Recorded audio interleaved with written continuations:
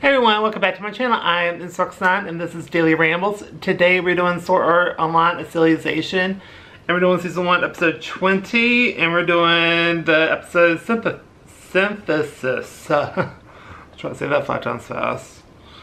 Anyway, so we're on the 95th floor where Kirito is trying to find Eugeo, but they find Piccoli and he's still alive-ish, kind of. Um, and basically tells Alice to go for it and to, uh, you know, just knock everyone out basically. And then Kirito found the sword of Eugeo's because he um, found out how to do a tracker on it through the abilities in the game. So that's how he was able to find the sword of Epicoli.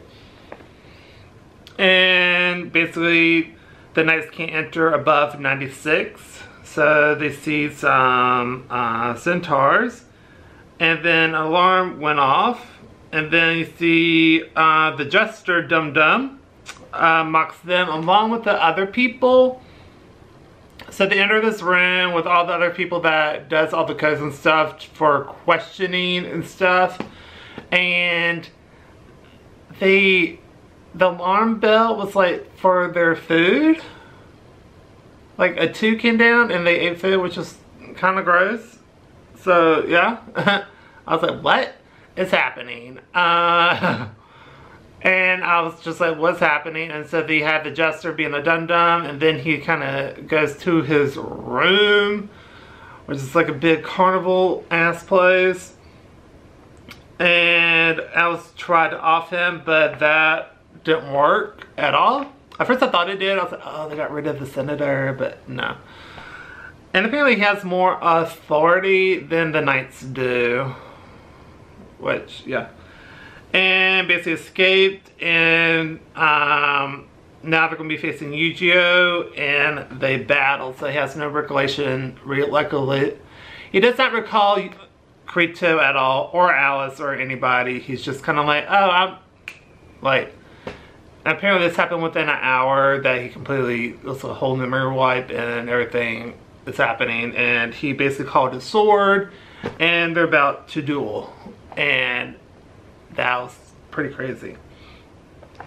And so they kind of have a little bit of a standoff, then they're about to go into it, and that's when the episode ended. So I gave this episode a, a minus, almost a B plus, just because of the senator. My God, was just a. That's the type of thing like you just, mm, it just kind of irks your nerve. You don't know why really, but you just don't like that. Mm. And the whole thing that Piccoli is like frozen and nice, but he's still alive type deal. But if you move his head too much, he'll crumble down to the ground. That's not how it works, but okay. It was just very bizarre in that I was like, though?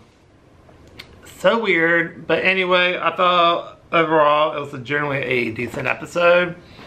Because honestly, if this below a C, I ain't watching it. or I'm not going to do a review for it because it'll just, it'll be so bad.